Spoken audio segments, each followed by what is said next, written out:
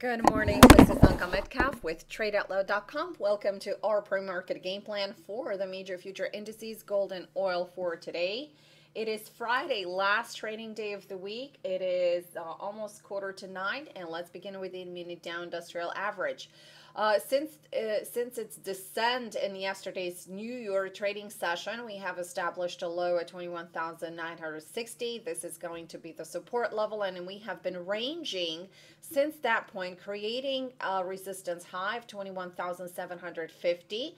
Um, and also, this is going to be the game plan for today. If we get a break above 21,750, we may see the price continue higher.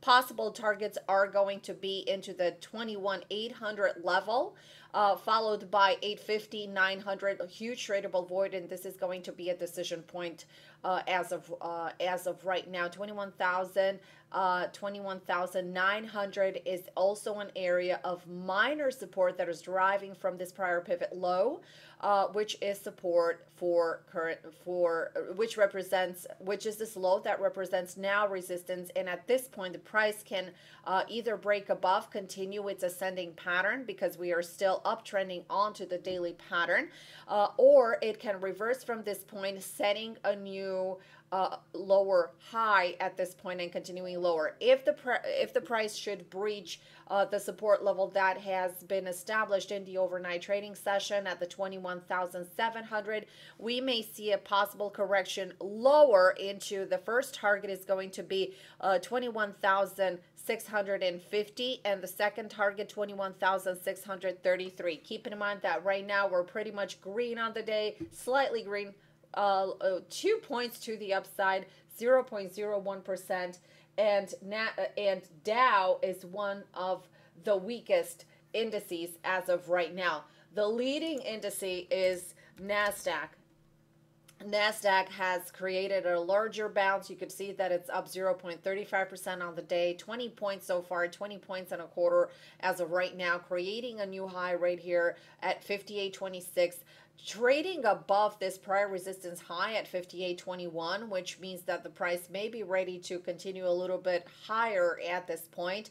Overnight support 57.88 uh, we can see a break to the upside. Like i said this is going the uh, this is going to be the area from which we will look very very carefully to see uh, how things will be shaping up uh, possible corrections and as long as this 58.20 area is going to stabilize this can sustain a leg higher into the 5850-ish area. So uh, we will see how uh, uh, we will see how it will trade. But actually 5840 and then 5854 target levels uh, for today. Keep in mind that uh, we do have some overhead resistance uh, at 60 zone that is uh, coming from this prior area of support right here. Right now, resistance at this point. So this is the watch out area uh, for NASDAQ. Things can turn around here or they can consolidate and continue higher. At this point, we're trading below the 200 period moving average on the hourly chart.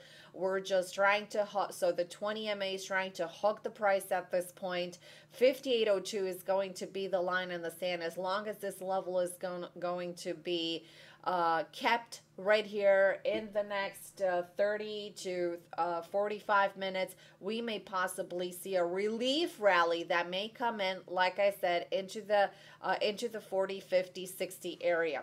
All right, let's continue with the mini S&P 500 index that Right now, it's up only 2.2 points and a quarter, 0.09% on the day, barely on the green side, along with the mini Dow. Same uh, same consolidation. And one thing that I wanted to mention is the fact that because we haven't had a relief rally yet, we may have one or we may not have one.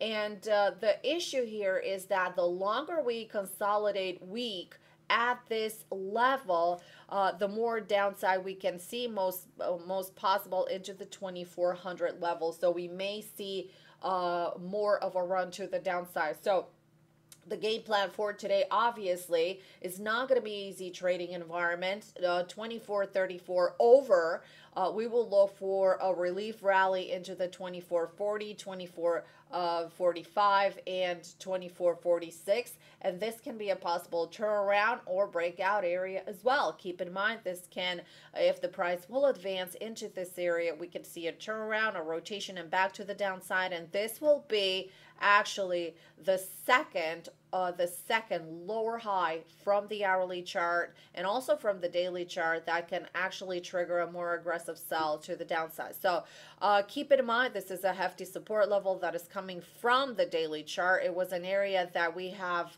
hovered and we have consolidated back in June.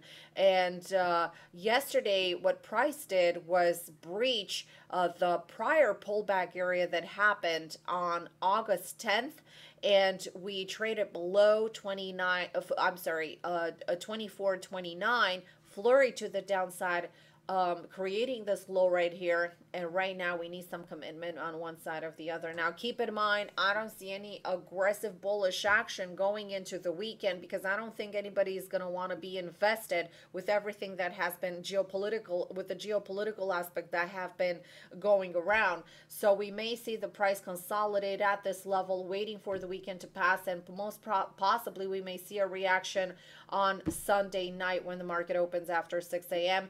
and going into the overnight session, London session, and coming into the New York trading session. So today uh, we have to look for really good opportunities, and this is going to be in play. Over 34, we will see uh, for a possible continuation higher, and under these lows, we may see for possible continuations to the downside.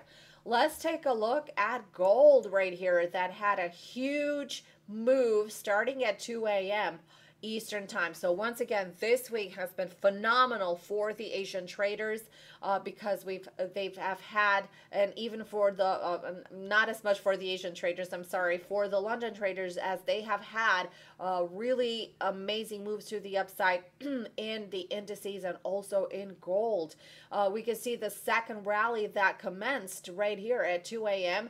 Uh, also, we had another rally that started here at 9 a.m. Eastern time and then overnight session here uh, continue with the break of the 1292 level challenging these prior highs pull back into a minor support level 1292 and escaping to the upside just erasing these highs right here at 12 uh, of uh, 1296 1300 the high uh, very very well uh, defined by us in um, in the prior uh, recordings. I just want to show you that we are now trading and we are literally making uh, literally making yearly highs right here with this breach of the 1299 level. We're trading over 1300 right now. It made a high of 1304, little above 1304. It actually, actually was 1303.9. Um, and uh, the next target is going to be 1340. So uh, it has a lot of room to run to the upside, and we will see if gold will continue its trajectory to the upside. All right, so let's move back to the hourly chart and uh, let's define here. Uh, if this area is going to consolidate, you can see that 1300 is really trying to hold support level right there. We may see another leg up. And like I said, for the day, most possibly, I would say 13, uh, uh the technical chart suggests that 1305 uh, and possibly 1310 would, be, would create follow through to that point. All right. Uh, and let's take a look at oil. Oil has, uh, we are trading a new contract. Keep that in mind as well. Uh, trading may be a little bit choppy in today's trading session. Usually there's a fade of the move, so we're going to see how that plays out. Uh, I usually don't change, uh, don't uh, really trade on the uh, contract, uh, on the new contract date. Uh, usually moves are unexpected. However, the technical pattern suggests that there is support right here at 47.25. Uh, as long as the support level is going to be intact, uh, we can see more upside that may continue back into this prior high of 47.53, 47.80, and possibly even back into the 48 uh, $48 level. Uh, this was back. This would bring me. This would mean uh, that the price may go back into uh, this uh, this Wednesday's high right here. All right, one look at bonds to uh, to uh, wrap up the pre-market game plan. As you can see right here, bonds had a really uh, aggressive move and then your trading session with a pullback, and uh, chart wise, it is looking it is looking better than all the other indices and actually uh, commodities that are that, that I'm looking at it this morning. Possible continuation higher into the 157.08. Um, and that is a long ways for it. Uh, also, overnight, 2 a.m. Eastern Time came with the best possible uh, setup um, uh, this pullback occurred into a minor support level at this point. Uh, hourly buy triggered, trading above this prior high. Actually, 156 was the target. It went to 156.04. Pullback right now. Uh, the next minor support level is going to be at 155.23 and uh, we went 23 24 these these are going to be the areas exactly where it is trading right now as long as the price is going to remain uh, pivoting in this area we could see a turnaround and back up to 156.04 and like i said for today we might even see 156.13 156 uh, 156 um, uh, 2022 area. All right, this is all for now. Thank you so much for tuning in. For more information about our products and services, visit tradeoutloud.com. Uh, I hope you all have a great trading day today. And also, I will be back with the wrap up for the week uh, later on today uh, in the afternoon. And also, uh, pay very close attention to the drop that we've had yesterday into the range because it's not going to be an easy day. All right, thanks so much for tuning in, and I'll see you guys for more trading ideas in our private Twitter feed.